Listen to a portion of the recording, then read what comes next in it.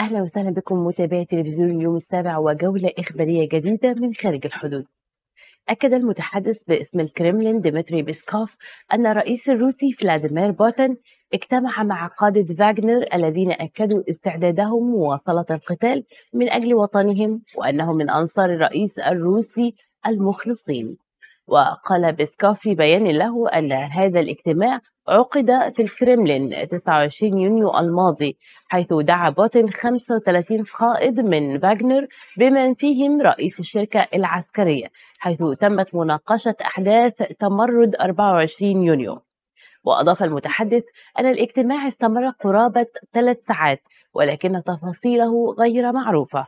الشيء الوحيد الذي يمكننا قوله هو أن الرئيس قدم تقييما لتطورات الحملة على الجبهة خلال العملية العسكرية الخاصة كما استمع بوتين إلى التفسيرات التي قدمها القادة وعرض عليهم المزيد من الخيارات لنشر القوات واستخدام المزيد من الوحدات القتالية الإضافية.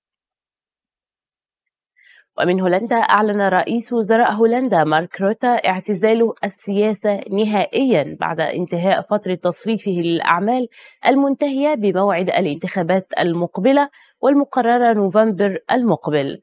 وذلك بعد انهيار حكومته في ولايته الرابعة وتقديم استقالته إلى الملك بسبب أزمة قانون الهجرة.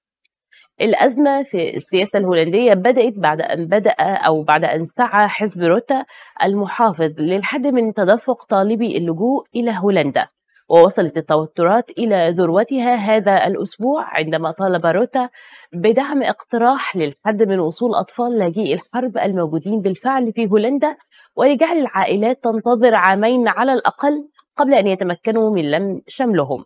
وعرض ذلك بعض الأحزاب الأخرى الأمر الذي أدى في النهاية إلى إسقاط الحكومة.